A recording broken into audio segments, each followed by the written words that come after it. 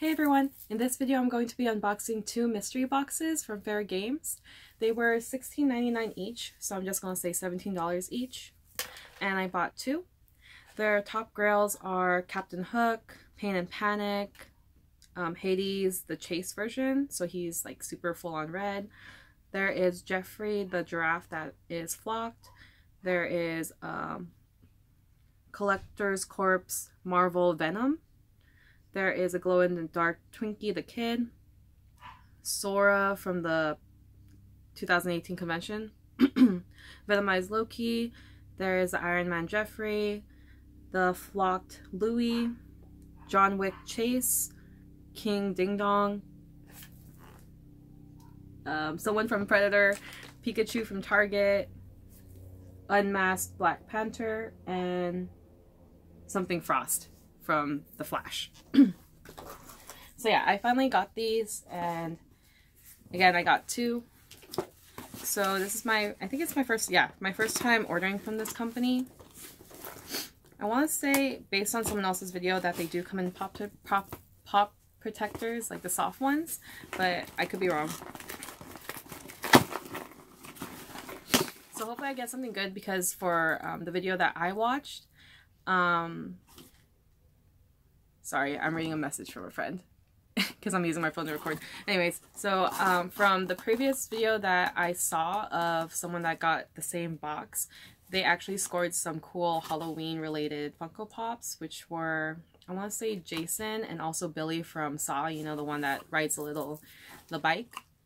so I really hope that if I don't get any of the grails, um, that I get a cool horror pop because I am into horror in a, in a way, some sort of, yeah. So here's how the box looks. And I'm just going to pull it out.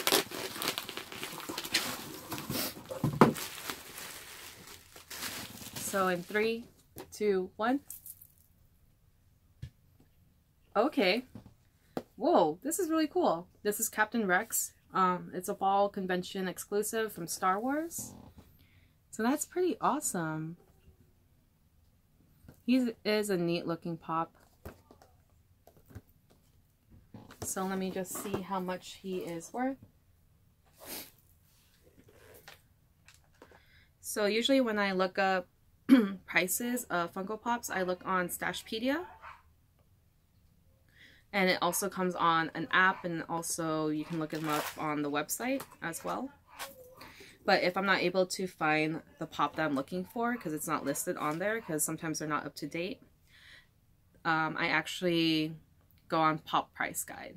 So yeah, so awesome. We actually made our money back. He is actually $32. So that is freaking cool. So I'm not a really big Star Wars fan. I know of the movies. I've watched all of them.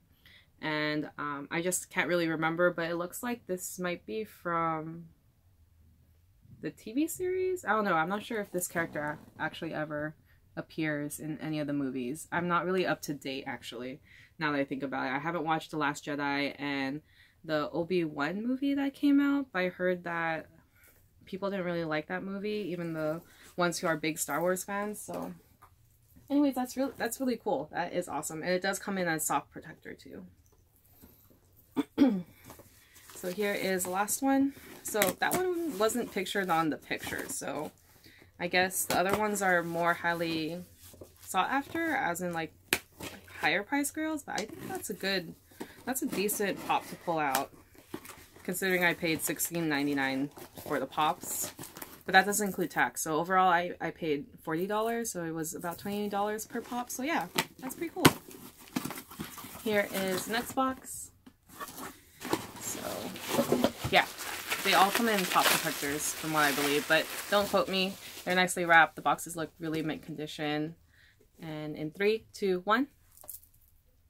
Okay, I don't know who this character is. I don't watch Overwatch, or actually, it's a game.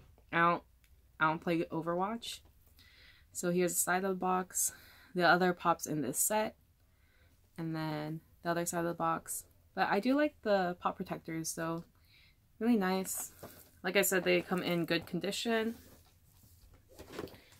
and let's see how much she's worth. I want to say that she's not worth too much.